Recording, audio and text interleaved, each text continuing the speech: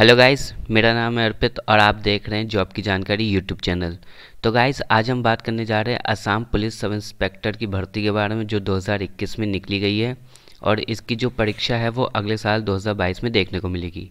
तो गाइस आज इस वीडियो में आप जानेंगे कि इसकी इंपॉर्टेंट डेट्स क्या रखी गई हैं, इसकी सैलरी कितनी होगी, इसका qualification selection process exam pattern fees medical test PST और PET test age limit document ये सब सब कुछ आपको इस वीडियो में देखने को मिल जाएगा। तो दोस्तों, इस वीडियो को अंत तक ज़रूर देखें।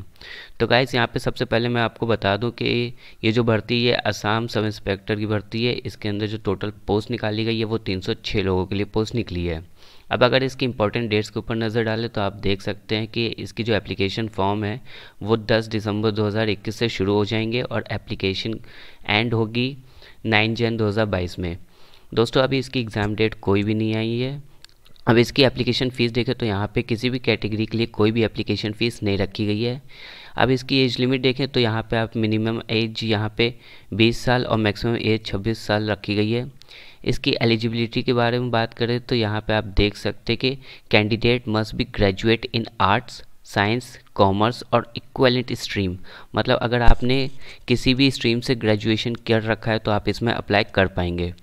अब अगर इसकी सैलरी और पे स्केल की बात करें तो यहाँ पे आप देख सकते हैं कि इसका जो पे स्केल है वो चौदह हज़ार रुपये से लेकर साठ हज़ार पाँच सौ रुपये तक का रखा गया है। प्लस इसके साथ आपको ग्रेड पे भी दिया जाएगा जो आठ हज़ार सात सौ रुपये का होगा और साथ ही जो बाकी अलाउंसेस होंगे वो भी आपको मिलेंगे। अब अगर इसकी सिलेक्शन प्रोसेस देखें तो यहाँ पे आप देख सकते हैं कि पहला आपका रिटर्न टेस्ट होगा, उसके बाद पी एस टी वाले टेस्ट होंगे। फिर लास्ट में यहाँ पे डॉक्यूमेंट्स और मेडिकल टेस्ट रखे गए हैं। तो अगर हम रिटिन टेस्ट की डिटेल जाने तो यहाँ पे आप देख सकते हैं कि इसके अंदर जो टेस्ट होगा वो थ्री पार्ट्स में डिवाइडेड है। पहला आपका लॉजिकल रीजनिंग एप्टीट्यूड और कॉम्प्रेंसिंग पार्ट होगा। सेकंड आपका matters relating to history and culture of Assam and India का होगा। थर्ड आपका जनरल नॉलेज के क्वेश्चंस आएँगे। इन सभी टेस्ट के लिए आपको तीन घंटे का समय दिया जाएगा। और ये जो टेस्ट होगा, ये ओ शीट पे होगा मतलब ऑफलाइन होगा और हंड्रेड मार्क्स का रखा गया है। नेगेटिव मार्किंग की बात करें तो यहाँ पे वन सेकेंड की नेगेटिव मार्किंग रखी गई है और एक क्वेश्चन का एक मार्क्स दिया जाएगा। तो दोस्तों, अब हम अगर हम इसके फ़िज़िकल स्टैंडर्ड टेस्ट की बात करें तो यहाँ पर आप देख सकते हैं कि फ़िज़िकल स्टैंडर्ड टेस्ट में यहाँ पे पहला हाइट मेजर किया जाएगा सेकंड आपका चेस्ट मेजर किया जाएगा। तो हाइट मेज़रमेंट के लिए आप यहाँ पे देख सकते हैं कि जो लोग भी जनरल ओबीसी एससी वाले कैंडिडेट होंगे मेल्स और ट्रांसजेंडर के, उनके लिए 162.56 सेंटीमीटर की हाइट होनी चाहिए और फीमेल्स के लिए 154.94 सेंटीमीटर की हाइट होनी चाहिए।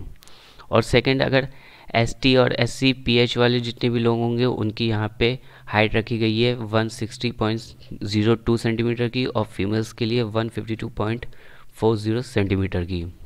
वहीं अगर चेस्ट की बात करें तो यहाँ पे देख सकते कि जितने भी कैटेगरी के लोग होंगे, उनकी यहाँ पे चेस्ट मांगा गया है 80 सेंटीमीटर नॉर्मल पे और एक्सपेंड करने पे उनका चेस्ट 85 सेंटीमीटर होना चाहिए। और एस टी एच की बात करें मतलब हिल्स की बात करें तो यहाँ पे उनका है नॉर्मल चेस्ट रखा गया 78 सेंटीमीटर और एक्सपेंड करके 83 सेंटीमीटर होना चाहिए।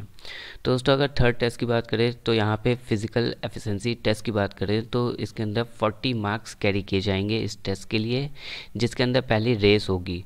तो रेस में अगर मेल कैंडिडेट्स की बात करें तो यहाँ पे 1600 मीटर की रेस होगी, जिसके लिए टाइम दिया गया है 450 सेकेंड का।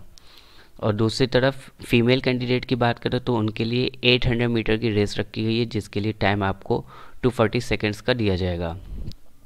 और एक बात और मैं बता दूँ कि award marks for 16 metre race रखा गया यहाँ पे मतलब कि अगर कोई भी मेल्स कैंडिडेट होगा, उसने 300 सेकेंड्स के अंदर या फिर 300 सेकेंड में रेस कंप्लीट करी तो उनको 20 मार्क्स दिए जाएँगे।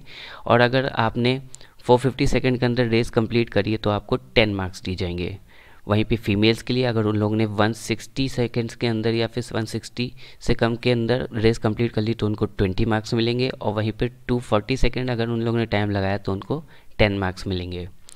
और इसके बाद आपकी लॉन्ग जंप होगी, जहाँ पे लॉन्ग जंप में देख सकते हैं आप मेल्स और ट्रांसजेंडर कैंडिडेट को 335 सेंटीमीटर की लॉन्ग जंप करनी होगी मिनिमम। वहीं फीमेल्स को 244 सेंटीमीटर की मिनिमम लॉन्ग जंप रख करनी होगी। यहाँ पे भी दोस्तों अवार्ड अवार्ड मार्क्स रखे गए लॉन्ग जंप लॉन्ग जंप के लिए मेल्स और फीमेल दोनों के लिए।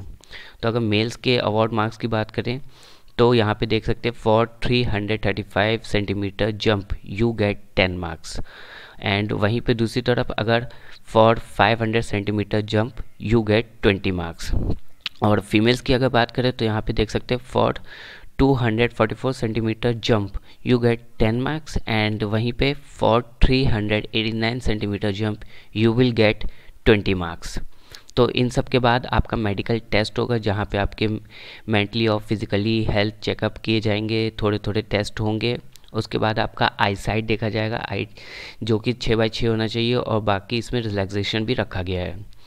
तो दोस्तों, अब बात करें कि क्वेश्चन पेपर जो रिटिन एग्ज़ाम होगा, वो किन किन लैंग्वेजेस में आएगा? तो यहाँ पे जो रिटिन एग्ज़ाम होगा, वो असामी लैंग्वेज में होगा बोडो लैंग्वेज में होगा बंगाली लैंग्वेज में होगा और इंग्लिश लैंग्वेज में आएगा।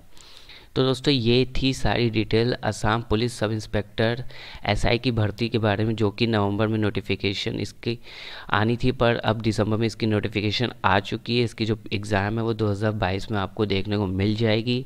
अभी फ़िलहाल इसकी एग्ज़ाम डेट नहीं आई है, जैसे ही आएगी हम इसको अपडेट कर देंगे।